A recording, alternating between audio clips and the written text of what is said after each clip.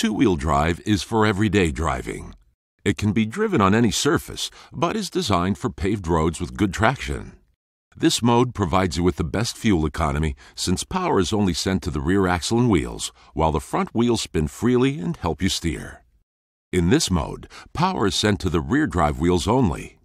The transfer case transfers power to the rear axle and wheels, which then drives the vehicle. In this mode, power is being distributed to the left rear wheel while the right rear wheel stands still. You may have experienced the situation before yourself if your vehicle was stuck with one wheel on ice and the other wheel on hard pavement.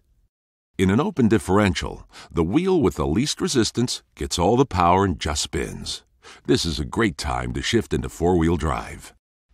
Use four wheel drive high range when you take your Jeep vehicle off paved roads and onto loose terrain. To shift into the four wheel drive lock mode, Simply move the 4x4 electronic shift switch from the two wheel drive position to the four wheel drive position.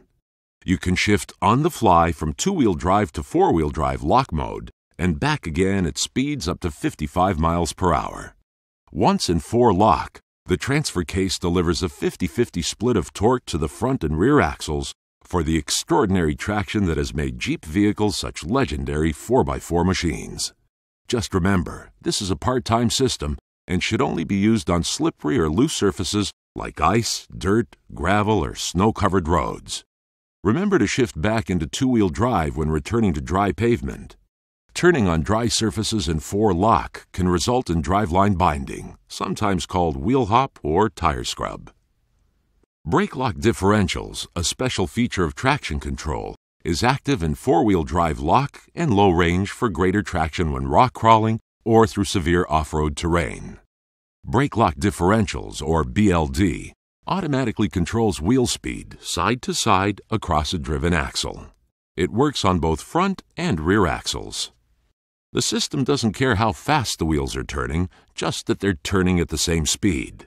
It provides improved traction capability similar to a locking differential but does not require a change in driving style. This does not mean that BLD is a substitute for locking differentials.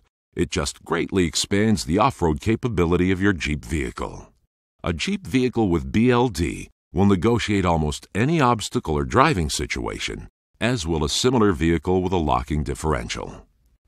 Unlike many four wheel drive units, this system features a neutral position, allowing it to be flat towed behind another vehicle, such as a motorhome, without uncoupling the drive shafts please refer to your owner's manual for detailed information.